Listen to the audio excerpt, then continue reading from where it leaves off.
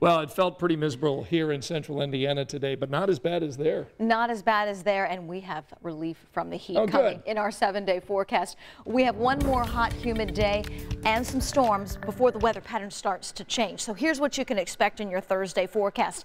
Wake up temperature in the 70s will be close to 90 at noon, forecasting upper 80s and low 90s depending on cloud cover tomorrow, and there will be a couple of waves of storms to track. More importantly, we want you to be prepared for the heat.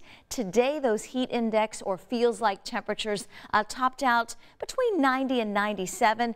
Tomorrow, we think they will top 100. Feels like temperatures tomorrow afternoon, early evening near 104 in Terre Haute, 103 in Indianapolis. You and your pets will need some extra shade and some extra water tomorrow. We are tracking a big complex of storms moving through Wisconsin. It is now south of Green Bay, headed toward Milwaukee, eventually into Chicago. This will impact parts of Michigan as well. This is where we find the risk for severe weather overnight. It does push south and includes all of central Indiana during the day tomorrow. Let's get to the timeline with Future Track 13.